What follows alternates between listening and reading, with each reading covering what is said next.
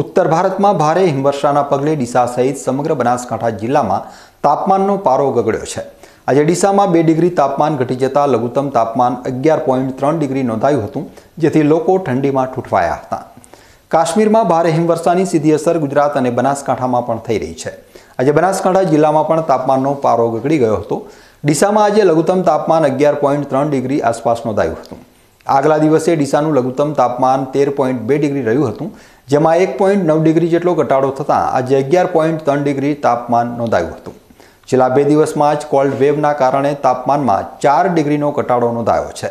અઠવાડિયા અગાઉ ચૌદથી પંદર ડિગ્રી તાપમાન રહેતું હતું, તે ઘટીને પારો અગિયાર ડિગ્રી સુધી પહોંચી ગયો છે, જેની સીધી અસર જનજીવન ઉપર પણ જોવા મળી રહી છે.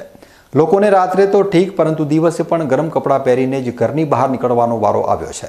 રાત્રે પણ લોકો ઠંડીથી બચવા માટે તાપણાનો સહારો લઈ રહ્યા છે. દિવસ દરમિયાન પણ લોકો ગરમ કપડાં પહેરીને જ ઘરની બહાર નીકળી રહ્યા છે. જોકે આગામી સમયમાં હજુ પણ કોલ્ડ વેવની સ્થિતિ રહેશે તેવી આગાહી હવામાન વિભાગે કરી છે. જેથી લોકોએ હજુ પણ વધારે ઠંડીનો સામનો કરવો પડે તેવી પરિસ્થિતિ બની શકે છે.